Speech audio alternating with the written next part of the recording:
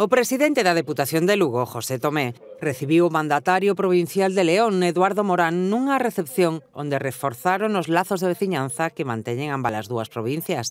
Os mandatarios provinciais acordaron, entre outros temas, unha estreita colaboración para atender as incidencias por neve e xeo como xa veñen facendo os lucenses nas estradas leonesas dos Ancares.